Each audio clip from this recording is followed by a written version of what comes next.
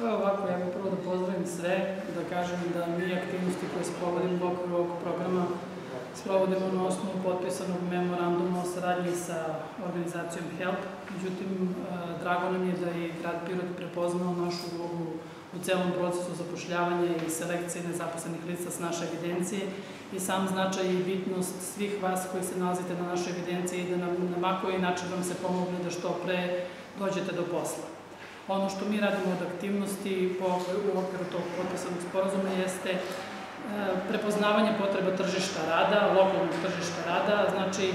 upravo predlog onih obuka e, koje su te koje će najverovatnije dovesti do toga da vi koji prolazite kroz nje dođete do zaposlenja